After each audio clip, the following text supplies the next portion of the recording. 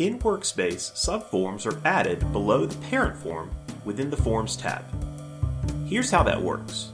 From the Manage Workspace page under the Forms tab, add a checkmark by the parent form to which you need to add subforms. Mandatory forms will be checked by default. Click the Go to Subforms button under the parent form's name. On the Workspace Subforms pop-up window, click the Add Subform Row button to add a subform. Then give the new subform a name. Click Save and a success message will appear in the Workspace Subforms pop-up window.